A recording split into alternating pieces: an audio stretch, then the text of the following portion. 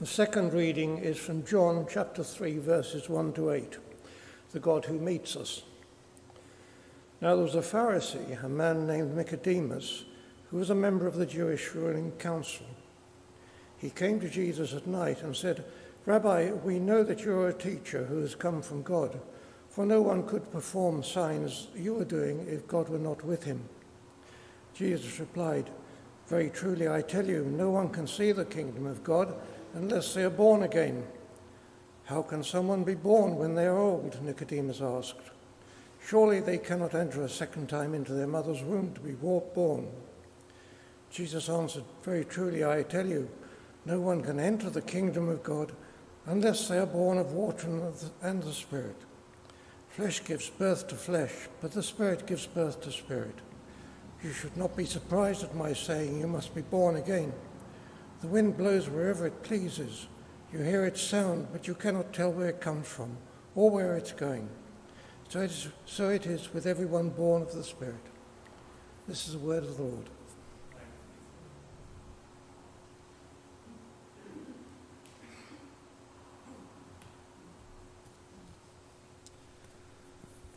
Let's pray.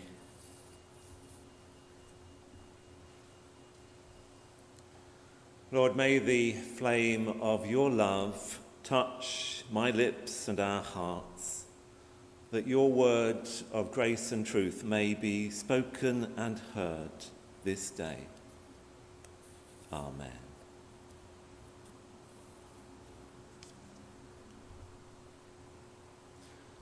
Today we celebrate the wonder of God the God who is bigger than our minds can possibly imagine or grasp, and yet is closer than our heartbeat and the breath from our lips.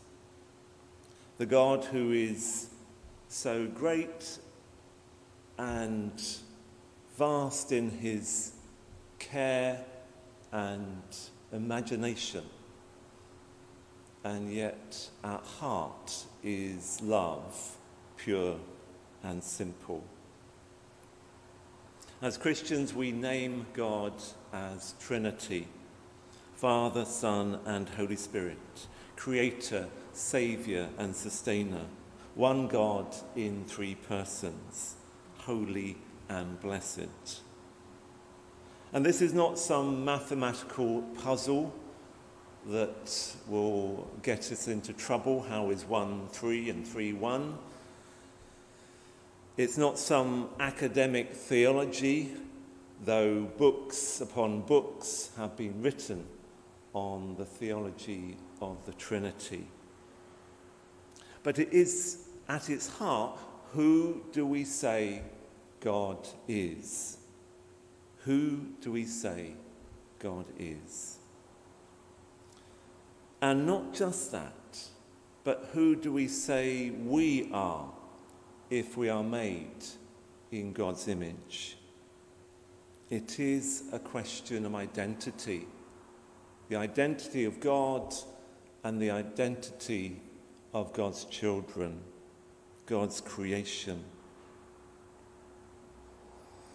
And for me, the Trinity, God the Trinity, speaks above all of unity and diversity. Unity and diversity. And the two are crucial. If we have only unity, it is uniformity and something dull. If we only have diversity, it is division and destructive. But God somehow brings unity and diversity together. And that's what we celebrate today as we celebrate the Trinity. Unity and diversity is not just about God, it is about us as human beings and us as part of the whole created order where we try to get one thing and forget the other, then we get into trouble as a human race. where we try to impose a unity and expect everyone to conform to what we think a human being is about, then we go to disaster. But if we just accept diversity and let it become division, then we're in trouble too. The picture that comes to mind is a story I heard recently about a man who got into cherries and cherry blossom. His name was Collingwood Ingram, but he became known as Cherry Ingram because of his obsession with Japanese cherry blossom. He was born in 1880 and visited Japan in 1902 and 1907 and discovered magnificent cherry trees and all the different types of cherry trees there.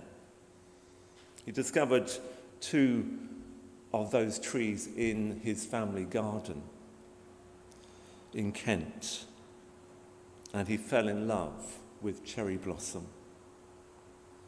But when he went back to Japan in 1926, he saw that many of the old cherry trees had been neglected or disappeared, and one particular cloned hybrid had started to dominate. It was almost a sign of the, the kind of industrialization that was going on in Japan at that time.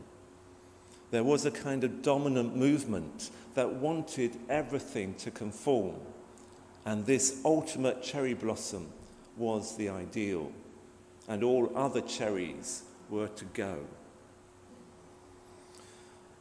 It was only through Cherry Ingram that after the Second World War, other varieties were reintroduced from England to Japan, and that diversity was recaptured.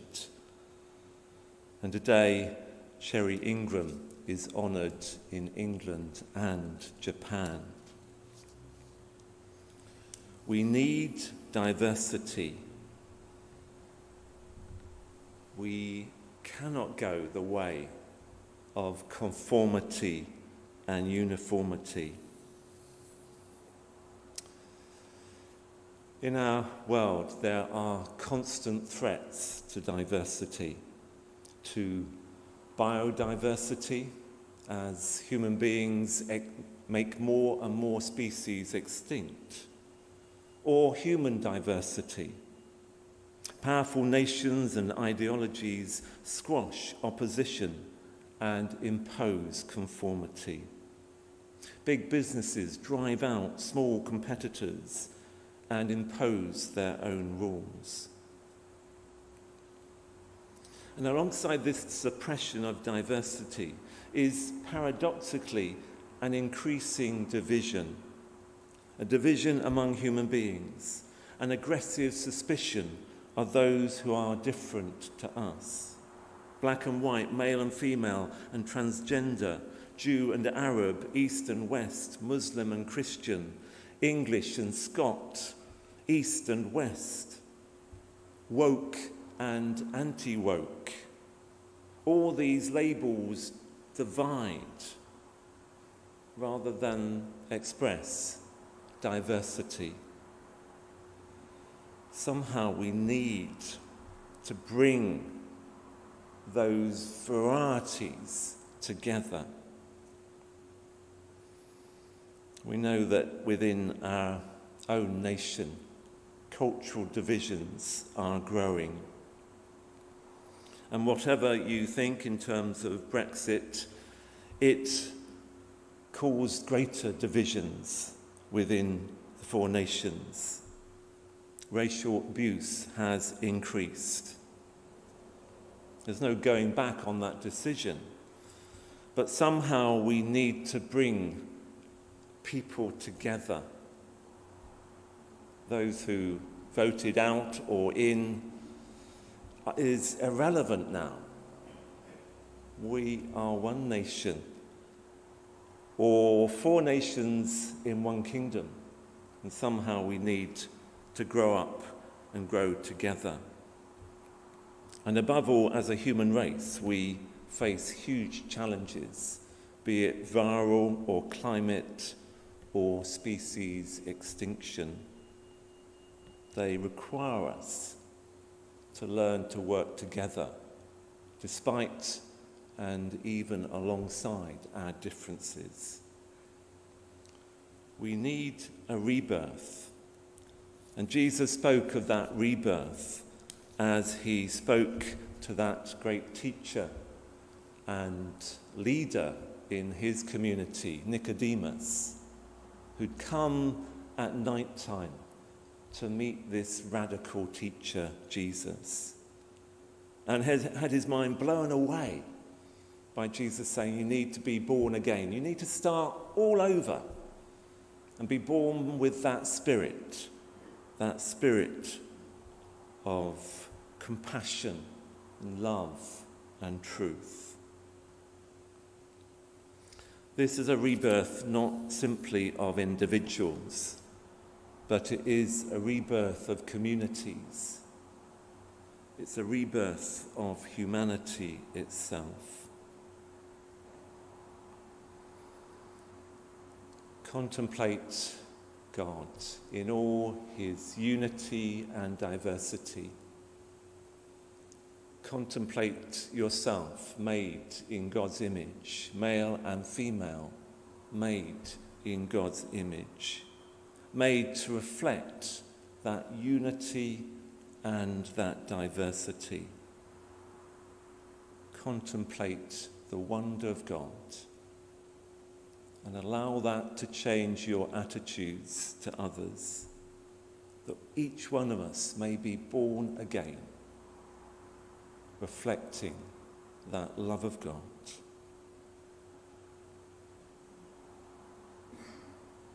There's a simple song from Argentina that has these words. And I'd like to teach, teach it to you. You can sing it in your heart, in your mind. And it goes like this Holy, holy, holy,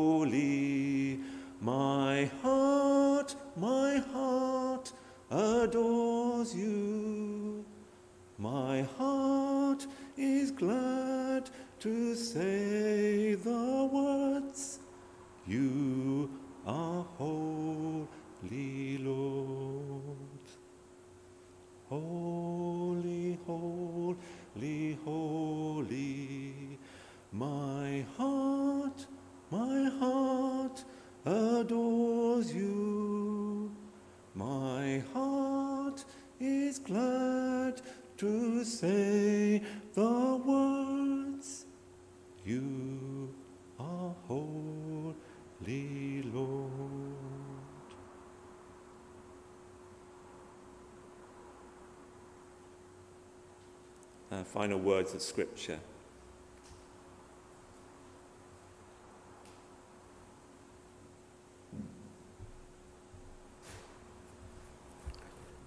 Romans chapter 8, verses 14 to 16. The God who listens.